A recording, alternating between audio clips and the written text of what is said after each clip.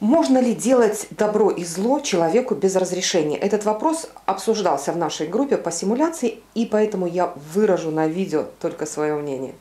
Итак, давайте его разделим на две части. Делать людям добро без разрешения и делать людям зло без разрешения. И начнем с конца.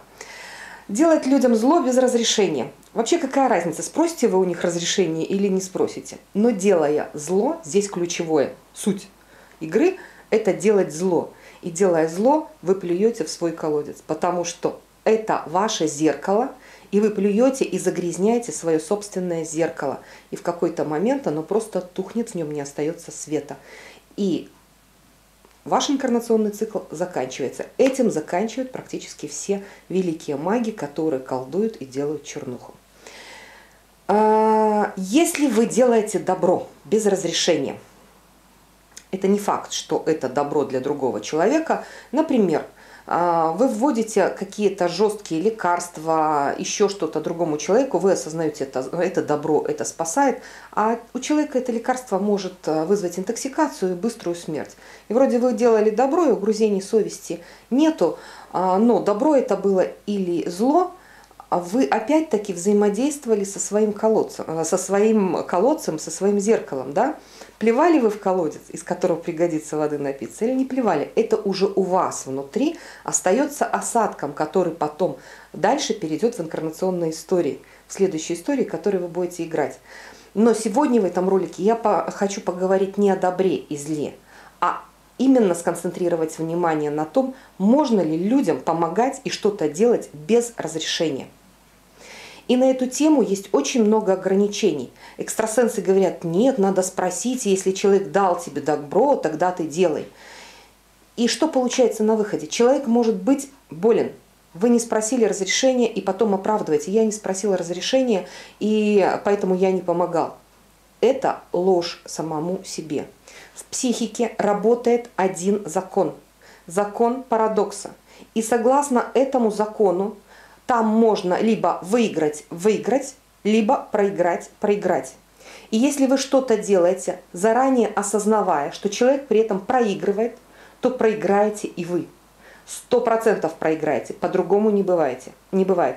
Если вы делаете что-то, когда вы уверены и чувствуете, внутри не от ума, чувствуете, человек выиграет, вы действительно искренне, открыты и вы делаете для человека определенные действия, которые помогают человеку действительно там выйти из болезни, там, э, из ситуации и так далее, то работает закон «выиграл, выиграл». И никакое разрешение здесь не надо. Это обман, обман экстрасенсов. Все, что касается разрешения, я говорю сейчас жестко и говорю те вещи, которые противоречат экстрасенсорному религиозному восприятию. Но это факт, господа. Закон парадокса работает именно так. Потому что есть только вы и есть ваше зеркало. Если вы в него плюете, если его игнорируете, если вы оправдываете свое бездействие тем, что ваше зеркало вам не сказало «да», то ваше зеркало остается грязным. Ваша задача максимально его почистить, сделать его открытым, искренним, чтобы в нем было больше света. И если вы исходите из этого – то вы тогда можете помогать спокойно человеку. Что происходит и зачем вообще люди придумали вот этот вот развод, что не помогай без согласия?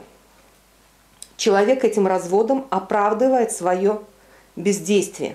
Человек таким образом говорит, да, я крут, я могу помочь, но он же мне не дал согласия. И накачивает свое эго – свою пустышку, воздушный шарик раздувается, человек таким образом привлекает к себе ресурс внимания окружающих и на понтах становится значимее.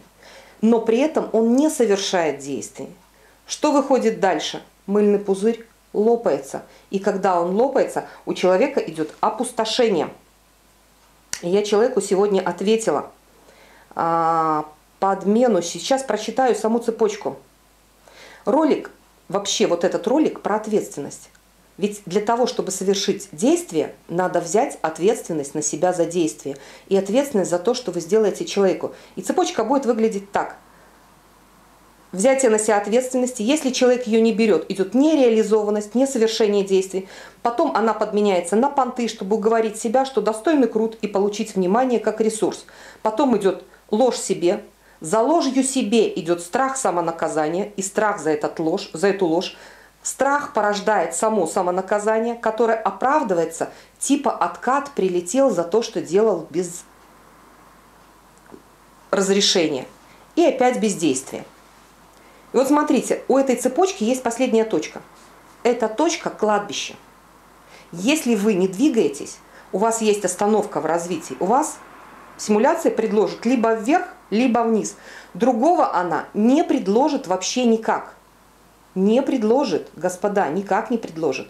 И вы либо скатываетесь в своем бездействии и в своих понтах, и лопаетесь, как мыльный пузырь, и уходите в деградацию, либо у вас включается мозг, включается открытость, и вы говорите, я беру на себя ответственность, я совершаю действия, я реализуюсь, внимание тогда приходит само собой ко мне, я тогда не лгу, у меня тогда нет необходимости себя наказывать за свою же собственную ложь, механизм самонаказания не включается и, соответственно, никаких откатов за то, что вы помогали людям и так далее не наступает. Вместо этого приходит благодарность за совершенное действие. И теперь смотрите, каким образом э, рубится человек вместо того, чтобы помочь другому человеку, быть друг другу братом, помощником, нести счастье, нести свет в дом, он останавливается и подменяет это самонаказанием – вместо того, чтобы получить искреннюю, открытую благодарность от человека. И таким образом, что вы отразили? Вы отразили понты и бездействие. Вы получили в ответ. Лопнули, деградировали, заболели и так далее. Кладбище в ответ, господа. Если вы отражаете свет, отражаете искренность, вы в ответ получите искреннюю благодарность. Это работает именно так – вы можете придумывать кучу религиозных или экстрасенсорных концепций. Вы можете раздуваться, и ваше эго может раздуваться, как мыльный пузырь, но все равно оно лопнет.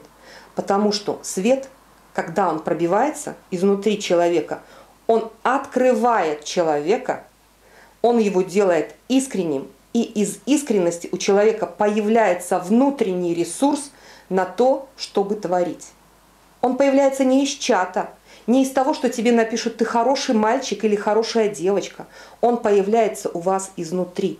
Другого места старта ресурса нету, потому что кроме вас никого нету. И только вы отражаете в зеркале реальности и берете ответственность за свою жизнь на себя. И очень приятно, когда вот эти солнечные зайчики от вас соображают, что они делают. Этот ролик для вас, господа, и для меня.